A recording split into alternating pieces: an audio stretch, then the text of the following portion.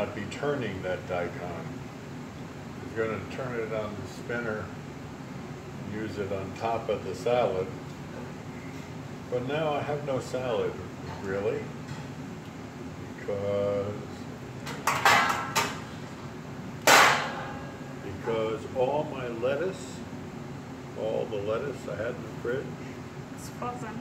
But can't we thaw it? Well, we're gonna make coleslaw, Chinese there. So I Chinese, won't do it. Can Huh? we do just one?